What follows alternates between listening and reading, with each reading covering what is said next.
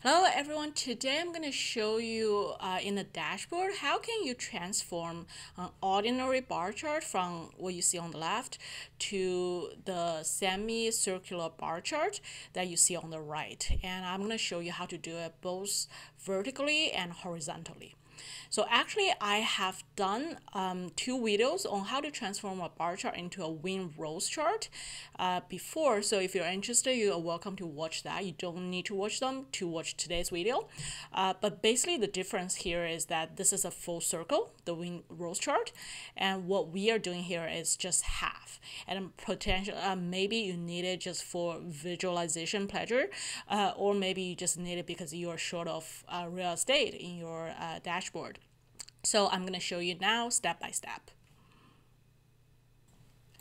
Okay, so let's first start with how to do the vertical bar chart like what you see here. Um, to start with, this is our core data. So the business scenario is pretty straightforward. We have six departments and they each have a different performance multiplier. We can realize that in the bar chart, um, but we can also make it more fun, which is something like this. So let me park the chart here. To save our time, I'm not gonna like typing all the data. I've already got the data set up and prepared, but I'm gonna show you how I'm using them. So the first thing you need to do uh, when you have the data uh, table is to calculate how many degrees you need for the charts. So for example, I have six departments and uh, you know as a, for a semicircle, it's 180 degrees. So what you need per the uh what like for each of the item you would need 180 divided by 6 which means that you need 30 degrees. So park that somewhere um, and then you create a new column you can call it degree and then have it run all the way from 1 2 3 4 5 until 181 and then you go back create another column uh, let's say its value 1 is essentially the performance multiplier put uh, 1 start uh, start with 0 and then from between 1 to 30 put 30 as 0 because this is our first item um, and put everything in between to be your first value. So our value, you can see I'm using um, a cell reference. So let's say if I change this number to something else, my data changes automatically. So that's how I can also make it dynamic. And then this is set up and then for the next 30 rows, uh, again, put the first one at zero and then put everything else here before number 60 the same as your second value. And then you do the same thing again and again. So you have uh, two zeros in between for each of the values and then it runs over until 180 and then for 181 it's another zero so basically that's how you set up the bars um, val uh, this column, the column K value 2 is optional. So for example, the reason I put it here is that you can see um, I actually have a border for each of my bars. And the reason for that is I kind of want to show that 100% is at target. So if they are reaching at this bar, it means that uh, at this border, it means that they are at target. So for example, this department sales support is below target, marketing below target, HR is over target, finance is over target. So that's what I choose to show my data um, more efficiently, uh, but it's not required. You don't have to show that. So let's say if we choose to show that, the the way you do it is let's say you choose 100 as your uh, target, you can uh, basically copy the same number down for all the rows except for the rows where you have zero. So for the zeros, you can copy it down all to 100 and then for all the rows where you have zeros in column K, copy them down as zero. So, so that um, they have the same border. Okay, so now the data is set up. Let's go ahead and create our data. Actually, one, one more step is that we still need to fulfill all our degrees up to uh, 360 degrees. Um, you don't have to fill anything for your value here. Okay, so now let's go back to our values and then let's select our value 1 and a value 2 all the way down to 360 uh, and then go for insert recommended chart or charts go to Radar and then here you go. So that's the one that we choose to show. Okay so let's go all the way up. So this is the prototype for our chart. So as you can see uh, right now it's showing two borders um, with colors that we don't like. So now we can go ahead to do our second step, which is formatting. So let's say I choose to format this color to be uh, blue. I choose to have make it lighter.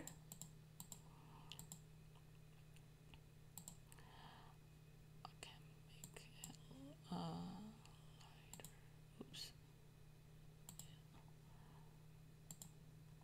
And then for my for for my in value one bars I choose to have it filled. So you select the bar you see you select the bar and then go to chart design change chart type. For your value one change from radar to filled radar. And then okay cool. So now it's filled. Okay cool. So now we have done uh, the chart itself uh, we can clean up the data a little bit. For example, we don't need the label, so select the label and then just delete it. Uh, and we have a neater chart. We don't need the legend. Uh, we don't need the chart title for now. So that's that. Uh, we can keep everything else just for now. And then now the third step is to go ahead and create the labels. So in order to create the labels, uh, it's actually the same method as the wind rose chart that I did, which is that you actually need to uh, create some helper columns and then um, use a some uh, use a donut chart. So before you do anything in the chart, you need to create a helper column and uh, here I will show you why this is so each for each of the helper column for item it's 30 degrees which is the, exactly the same as what you just calculated. And then after all the 30 you have a 180 degree which is basically the other half of the chart so you have that parked here, that's okay. And then next thing, you go ahead and create the labels. So this is actually the task that you want to show in each of the labelings. So for example, I choose to show both the department name and the performance multiplier. And then you can see this is my formula to uh, create that text and then I copy my cell down to create it. Okay, so that's after that's created, park it. And then let's go back to our chart select anywhere in the chart, and then go select data, add. For add, um, I want to add a label, or you can just type in as label, like both are fine. And then for your series value, go ahead and choose this. Make sure you select 180. And then after you select it, go OK you're not going to see much change in your chart, that's okay. Go back to your chart, select it again, and then go to chart design, change chart type. Now you have label, and then change your label into a donut chart. Okay, so this is the donut chart that we just created. Uh, let's now further format it. For example, I I don't want this part to be this large, so I'm gonna shrink the hole. Uh, oh, actually, shrink it by this. And then I don't want this part, I, I want it to be invisible. So I'm gonna mm, select, um, well, I can, I should only select this half. Make sure I only select this half and then make it no fill. Okay, cool. So then um, it's good. It's showing good. And then I also noticed that uh, this part is is having some overlap with my chart. I don't want that, which means that I need to make my index a bit um, uh, bigger so that so so the next step is to create uh, select the Radar axis go to um, axis options now the maximum is 120 let you know what let's change to 150 so this way um, the part that you're gonna write your label is not gonna be affecting your actual chart. Okay so now um, they're not there's no overlap. Uh, that's good. Let's select each of those uh, fields for from the donut chart and then just fill it with color and then you can so now you can see all my um, areas for the labeling is created. Now I can actually go ahead uh, to to remove my axis I noticed that it's showing negative 10 again um, I don't want that so I'm gonna override it to zero. Okay and then now um, it's selected. We can just delete it. We don't need it for now just delete. And then we can select the grid line. We don't need it now. Let's just delete it. Okay, so now um, the last step was is to add the labels to our chart area. So select the donut chart, add data label. It's going to show something like this by default. That's okay. Let's go to uh, label options, label options. Um, what you do is to choose value from cell. So the cell range that you're gonna select is this label range that we just collected, uh, just uh, created. And then now with this created, you don't need the value, so unselect that. Uh, you don't need the little lead line as well. You can choose to have it, but you don't need it for my purpose. Uh, and then now let's just format our label.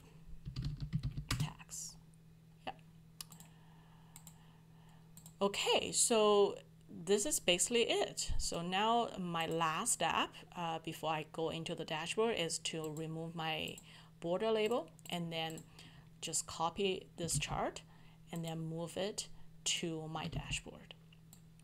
So you can see that the actual chart, because it's only half um, of a full circle, it's going to have a uh, blank space. So on the dashboard in Excel, if you want it to be visually more pleasant, you can choose to create um, like a square or a triangle and then hide the part um, that's blank so that the chart that you're gonna have is gonna show like this um, on your dashboard right? So that's how we can create the vertical one. Um, alternatively, there's one variation that you could also possibly uh, do is that for, for example, this one, um, the border is exactly overlapping with um, the actual data. You can also choose to have just a semi-circle line across uh, to show your target value. So to do that, the only uh, basically the only difference you need to change is that remember for our value two, we have all the zeros, which is the same as our value one. You simply just remove those zeros and then you simply just um, keep only the first degree um, as zero and then degree 180 as uh, 181 as zero and everything within it is 100 and then this is how this chart is going to look like. And now let's move on to how to do the horizontal version of it. So the good thing with that is we, we can actually start from the vertical one that we just did. So assume that this is, um, we have already done that uh, we don't need to change the data drastically and we can basically start from here. So the key point for changing from vertical to horizontal is that you have to think of the grade, uh, the degrees that uh, that's going to be um, visible and the degrees that's going to be uh, hidden. So for example, just think of a vertical one. Um, it's going to show degree from uh, 270 all the way to zero or like 360 and then it's going to show from zero to 90 degrees. So that's the only thing that's different from this chart. So for this vertical um, chart we are showing from degree 0 to 180 right? Okay so keep that in mind and let's come back to this chart. So what does that mean? It means that we still have the same data set, but we need to move the reference from the degrees, which means that um, if we want to rotate it anti-clockwise, counterclockwise 90 degrees, just imagine how it looks. We need to shift, for example, the sales support to uh, degree 200, 270. And then we need to move finance, for example, from degree 180 to 90. So this is how we're going to do it. Like we can just keep the data exactly same, but select from degree 1 all the way to degree 90. Cut it and then move down, down, down, down, down, down, down to 270 uh, or 271. Paste it. So it's going to go all the way down to 360. And then go back to here. So here you still have data from degree 90 to 180, right? Or 181 is okay. Say, uh, cut it and then paste it to degree 1. Okay, so you can see basically once you finish that change, your chart is automatically rotated to exactly where you want. Uh, however, the tricky thing is that look at the donut chart, it is a different chart, so it doesn't rotate the same way as us but that's okay because once you select the donut chart, you will see the series options on the right. And for the angle of your first slice, instead of zero, type in 270. And voila, you have this chart in the same format as uh, in the vertical format as you want in the dashboard. And then when you copy the chart into the dashboard, uh, it's gonna be the same because you're gonna have like the uh, the bottom half that's empty and this is where you might still need an empty square in your um, dashboard just to hide it so that you you're only highlighting the chart area that you need okay so this is how i was able to create those two circular bar charts um, and i hope that you will find this video helpful Thank you for watching. Please subscribe to my channel if you like it. If you have any question, please leave me a comment and I will talk to you very soon.